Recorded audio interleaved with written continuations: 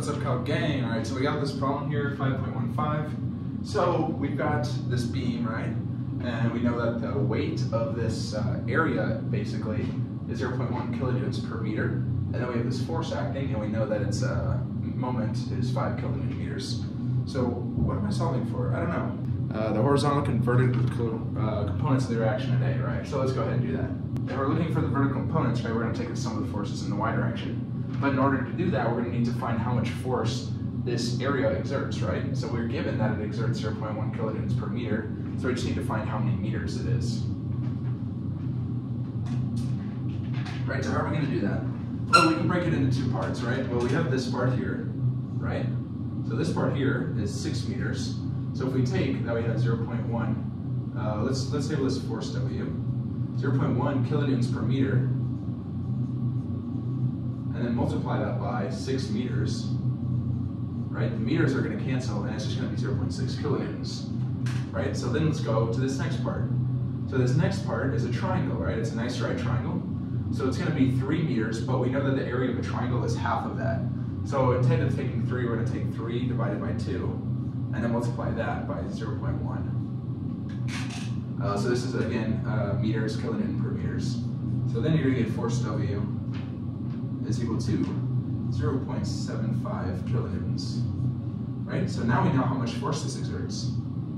Uh, but later on, uh, so not for part A, but for part B, we're going to need to know where it exerts. So we're going to need to find the center of mass of this. Right, so center of mass, we're going to take the force times each center of mass. So we're going to need to find the center of mass of this part, which is going to be at 3, obviously, right? So we know this is going to be at 3, is where that center mass is. And then this one, well, for every triangle, you know that the center of mass is at a third of the way away from the top. So this is going to be 1 meter, and this is going to be 2 meters. So we know that the center of mass is going to be at 6 plus 1, 7, 7 meters. So then we can say that it's distance, right? Let's label this distance of W. This is going to be where it acts. So if we're trying to find it, our formula is going to be, we're going to multiply the weight of this part, so we know that this is 6, right? Or 0 0.6, right? We had said here 0 0.1 times 6. So this is 0 0.6 is the weight of this rectangular section times the area of its, or times where its center mass is. So like we said, the center mass is going to be 3 meters. And then we're going to add that to the, the, uh, the weight of this one. So we said here, it's 3 halves times 0 0.1. So what's that 1.5 times 0 0.1? So this is going to be 0 0.15. And then this is at 7 is what we said, right? 6 plus this 1 meter to get to this center mass. So this is basically the same exact, or it's almost a similar equation. And then you're going to divide it by the entire mass of this, so 0.75 kilonewtons, or uh, force, excuse me. So then this is the equation you end up with. Um, so then you're going to get that its distance is equal to 3.8 meters. Right, nice. I wrote this down wrong in my page, but I'm pretty sure I'm doing it right. Uh, maybe I should correct that. Uh, no, that's probably right. Okay, I'm gonna just trust myself. Okay, so there we go. Now we have a force and uh, where it is acts. So we can go ahead and say that uh, there's a force that acting right about here. and This is force weight. Now we know that this distance is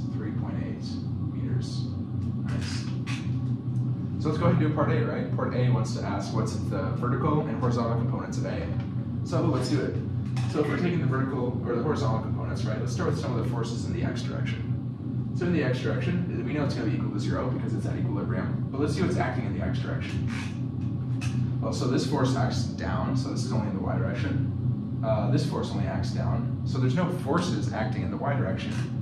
So that means that a of x has to be equal to zero, right? So a of x is equal to zero, right? There's no horizontal component acting at A. It's only a vertical component. So then if we do forces in the y direction, let's do that.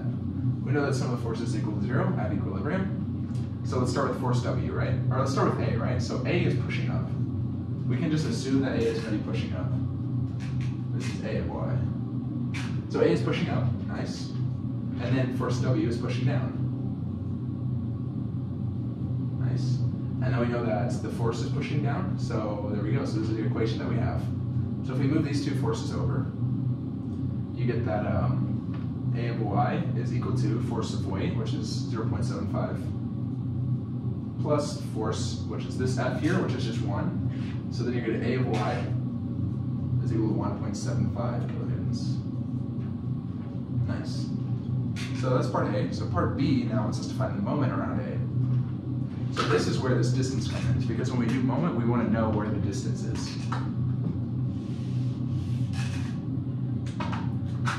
So if we're doing moment around A, uh, A, so I've done a lot of moment on my channel before.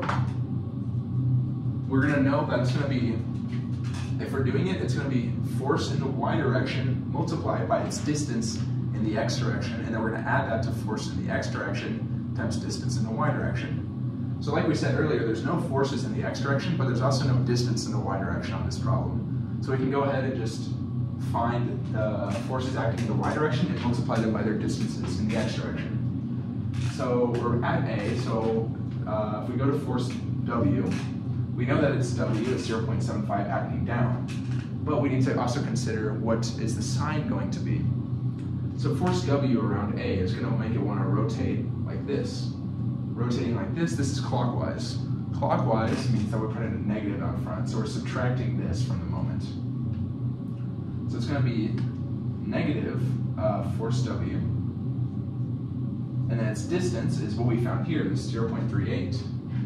0. Point, or no, not 0.38, 3.8. Nice. And then let's go to force. So force is also going the same way, it's going clockwise, so we're going to be subtracting it. So it's going to be minus 1, because, or I can just put force, but we know it's going to be 1. And then that distance is 9 right? And then we have this five moments acting here, and this is also making it go clockwise, so we're gonna also subtract a five. Cool, so then here we just have to put in force W is um, 0.75, negative 0.75, uh, 3.8, that's just awful, I'm sorry, 3.8, minus force, which is 1, times 9, minus 5, moment of A is equal to uh, negative 16.85 kilonewton meters per meter, not meters.